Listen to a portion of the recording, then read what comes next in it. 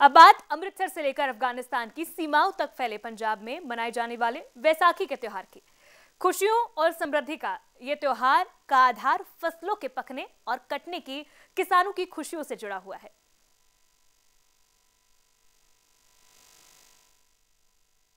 हर साल की तरह इस साल भी बैसाखी के उपलक्ष्य में विशाल नगर कीर्तन, नकोदर के मोहल्ला गुरु नानकपुरा के श्री गुरुद्वारा अर्जन देव जी से सजाया गया। इस नगर कीर्तन की अगुवाई पाँच प्यारों व गुरु ग्रंथ साहिब जी के तरफ़ से की गई। ये नगर कीर्तन गतका पार्टी एवं बैंड बाजों से सजाया गया था। इस नगर कीर्तन का नकोदर के हर इलाके में फूलों की वर्षा कर स्वागत किया गया। इस नगर कीर्तन में नकोदर के गणमान्य व्यक्ति हाजिर हुए।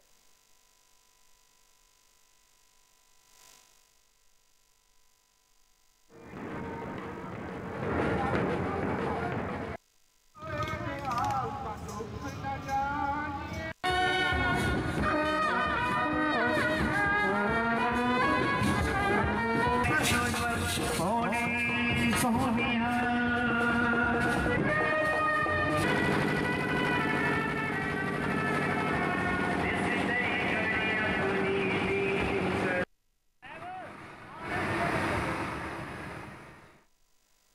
श्री आनंदपुर साहिब में बैसाखी के चलते संगतों में खूब चहल पहल देखने को मिली। वहीं संगत पवित्र सरोवर में स्नान करने के बाद अमृत छक रहे थे। श्री आनंदपुर साहिब में देश विदेश के श्रद्धालु भी बैसाखी का त्योहार मनाने के लिए पहुँचे थे।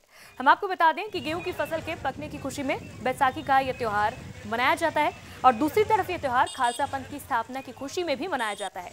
इस दिन सोलह में दसवें बादशाही गुरु श्री गोविंद सिंह जी ने खालसा पंथ की स्थापना की थी। श्री गुरु गोविंद सिंह जी ने पंच प्यारों को अमृत छकाकर सिंह बनाया था। वो खुद भी अमृत छककर गोविंद राय से गोविंद सिंह बने थे। इस तरह 13 अप्रैल 1699 को श्री केसरगढ़ साहिब आनंदपुर में दसवें गुरु गोविंद सिंह जी ने खालसा पंथ की स्थापना कर अत्याचार को समाप्त किया था। संगत इस त्योहार को सामूहिक जन्म दिवस के रूप में भी मनाती है।